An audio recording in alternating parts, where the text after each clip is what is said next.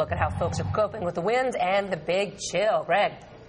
And of course, normally this uh, retail center very busy because unlike a mall, it's got uh, shops, a lot of people wandering around outside. They've got a lot of restaurants where people can sit outside on patios and cafes. But, you know, the cold weather's got a lot of people running from door to door.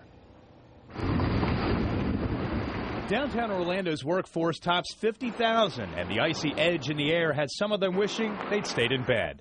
Wendy Levy stepped outside without her coat, along with a lot of others in the downtown crowd. I got one up in the office, but I should have brought it out. I forgot it. You should get it on. Yeah, it's pretty cold, huh? Yes, it's freezing.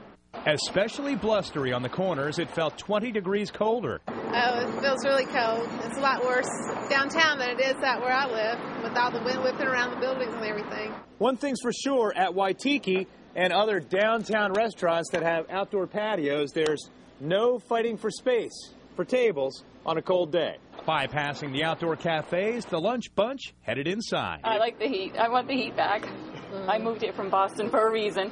well, then you wouldn't get a chance to wear that nice leather jacket. Uh, well, hey, once or twice a year is enough for me.